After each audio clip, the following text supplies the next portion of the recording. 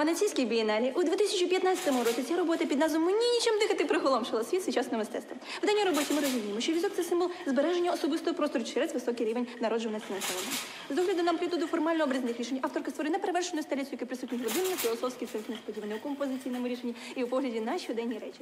Радянські вчені дослідили, що в середньому сім'я має дві дитини, що збільшує норму споживацького кошику, якщо три дитини втричі, якщо чотири. Рахуйте. Питання.